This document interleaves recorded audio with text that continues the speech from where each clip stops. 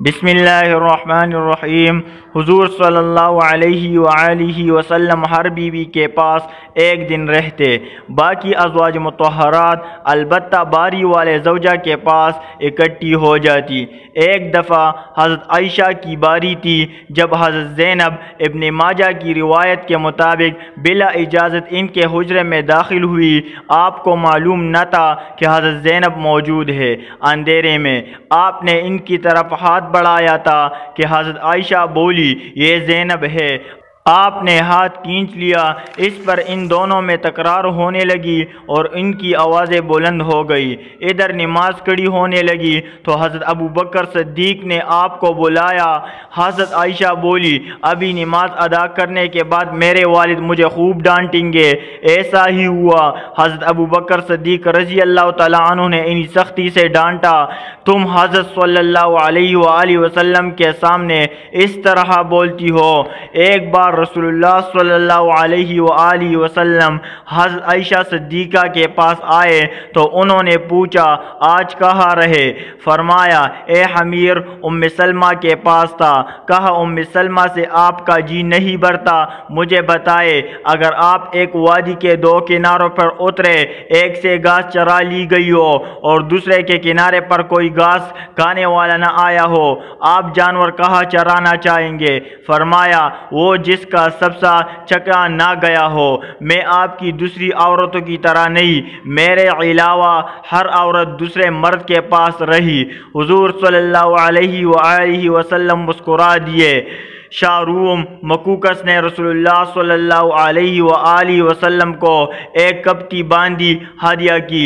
आयशा सद्दीक़ा कहती है कि वो हमला हुई तो मुझे परेशानी लग गई। इब्राहिम की विलादत हुई, लेकिन मारिया को दूध ना आता था। आपने बच्चे के लिए दूध देने वाले बेड़ ख़रीदी, जिसका दूध पीकर वो मोटा और सुर्ख और सफ़ेद हो गया।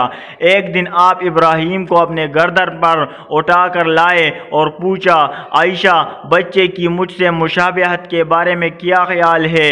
मैंने सोतापे की वजह से कहा, मुझे तो आपसे कोई मुशाबहत नज़र नहीं आती। फरमाया, बच्चे की सेहत के बारे में क्या कहती हो? मैंने कहा, जो बेड़ों का दूध पीता हो, वो ऐसे ही हो जाता है। हज़रत आयशा सद्दीक़ा फरमाती है, मैं उन औरतों से चढ़ती थी, जो अपने आप रसोल्ला अलैहि वसल्लम को हवा कर देती थी। मैं कहती थी, बिला कोई औरत अपने तय हिबा कर सकती है, जब अल्लाह ताला ने आए आयत उतारी।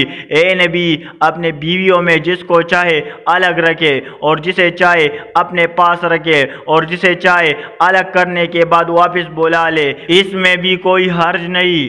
तो मैंने कहा, मुझे लगता है आपका रब आपकी ख्वाहिश पूरी करने में जल्दी करता है। इबन हजर कहते हैं, कई सहाबियात ने अपनी जान रसूलुल्लाह सल्लल्लाहु अलैहि वसल्लम को बख्शी, मगर आप किसी एक को निकाह में ना लाए, क्योंकि ये आपके मंचा पर मौकूफ़ था। बशर्त ये कि नबी सल्लल्लाहु अलैहि वसल्लम इसको अपने निकाह में लाना चाहे।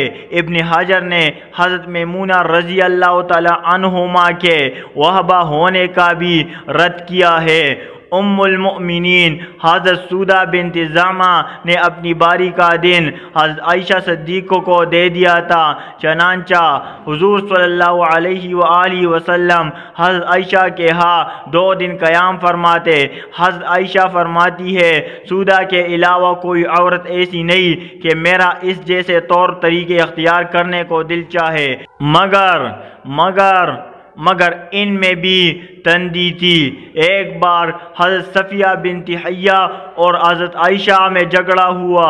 दोनों ने एक दूसरे के बाप को बुरा भला कहा। रसोल्ला सल्लल्लाहु अलैहि वसल्लम ने सुना तो फरमाया, सफ़िया, तुम अबू बकर को गाली दे रही हो।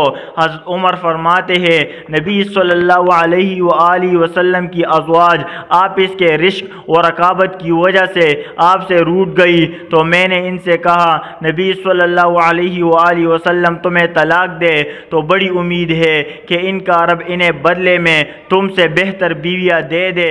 तो इसी मजमूम की आयत नाजिल हो गई।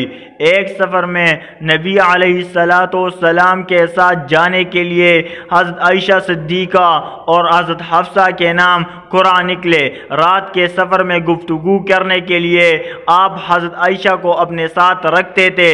हज़रत अफसा को इस पर रश्क आया। उन्होंने हज़रत आयशा से कहा, तुम मेरे ऊँट पर सवार हो जाओ और मैं तुम्हारे ऊँट पकड़ लेती हूँ। देखती जाओ क्या बनता है। रसोल्ला अलैहि वसल्लम। हज़रत आयशा के ऊँट के पास गए और हज़रत हफ्सा को सलाम किया। रात भर के सफ़र के बाद पड़ाव का वक्त आया तो हज़रत आयशा आपसे दूर रह गई। वो नबी सल्लल्लाहु अलैहि वसल्लम से शिकवा तो ना कर सकती थी, इसलिए ज़मीन पर उतरते ही अपने पाऊ अजाखर घास में डाल दिए, जिसमें शाम बिच्छुओं का बसेरा होता है और रंज के बायस दुआ करने लगी, ए रब डसने के लिए मुझ पर कोई साम बिच्छू ही मुसलत कर दे। नबी सल्लल्लाहु अलैहि वसल्लम अपनी एक जवजा हज़रत आयशा के पास थे। इतने में एक दूसरी बीबी हज़रत जैनब ने काने पर रकाबी भेजी।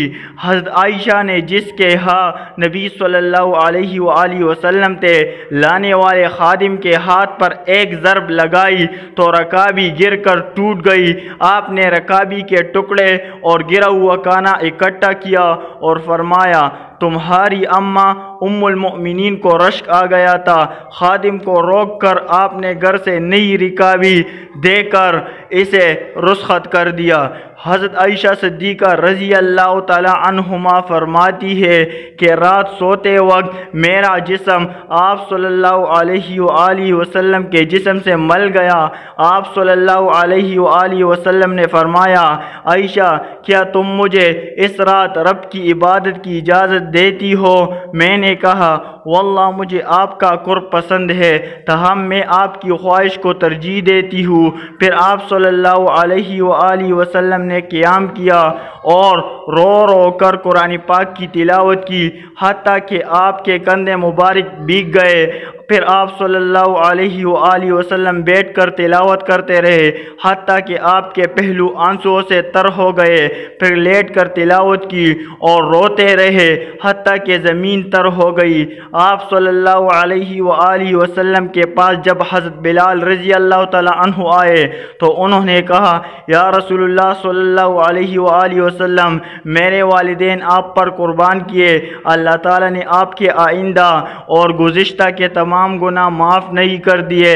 फरमाया बिलाल फिर मैं शुक्रगुजार बंदा ना बनूँ। अल्लाह ताला ने मुझ पर इस रात ये आयत नाजिल फरमाई, यानी आसमान व ज़मीन की पैदाइश में, दिन रात की गर्दिश में अहल अक्ल के लिए निशानियाँ है, जो अल्लाह ताला का ज़िक्र कड़े बेटे और लेटे हर आल में बजा लाते हैं और वो ज़मीन व आसमान की पैदाइश पर गौर व फ़िक्र करते हैं और कहते हैं, ए हमारे परवरदिगार, तूने ये सब कुछ बातिल पैदा नहीं किया, तू पाक है, हमें आग के अजाब से निजात अता फरमाया।